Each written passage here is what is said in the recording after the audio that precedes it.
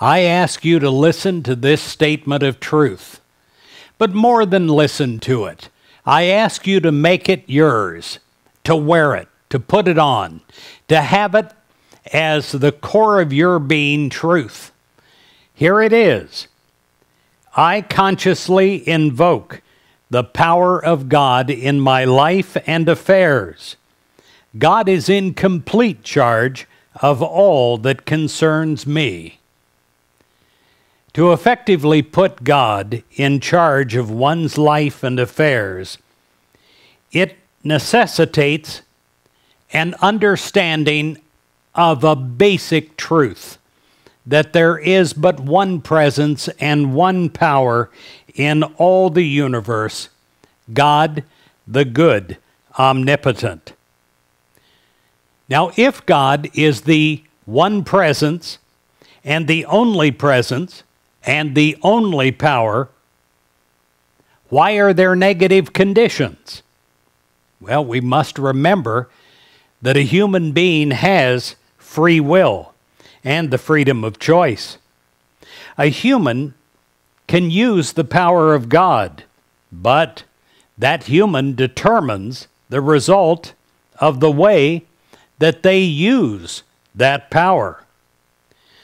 When we put God in charge of our life and affairs, we put God in command of our thoughts, feelings, and words. By our affirmations of truth, we invoke the whole power of God in our life and turn every appearance in the direction of God's good. The results can be nothing less than the ultimate good in our life and in our world. In Isaiah 51, verse 7, it says, Hearken to me, you who know righteousness, the people in whose heart is my law. I pray that in your heart is the law of God, that you are filled with the law of God in your mind and in your soul. Right now, I ask you to pray this with me and make it the law of your life today. I consciously invoke the power of God in my life and affairs. God is in complete charge of all that concerns me. Again, I consciously invoke the power of God in my life and affairs. God is in complete charge of all that concerns me.